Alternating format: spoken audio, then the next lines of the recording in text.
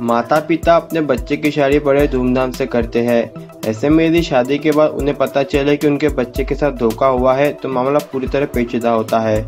ऐसा ही कुछ उत्तर प्रदेश के थाना शिकोहाबाद के आरोज निवासी धर्मेंद्र के साथ हुआ।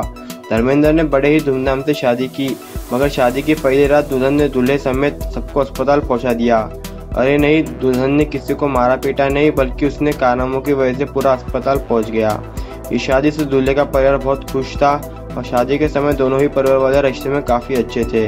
इस वजह से दोनों ने एक दूसरे पर शक करना साझा नहीं समझा और झटमनी और पट ब्याह कर दिया।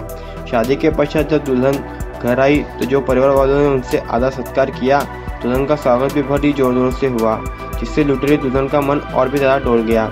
शादी के बाद दुल्हन के घर जो मिठाई आई थी, उसमें नशीली दवा मिली थी, ताकि उसे खाने के पश्चात तुरंत ही लोग बेहोश हो जाए और फिर दुल्हन अपना काम करके भाग जाए।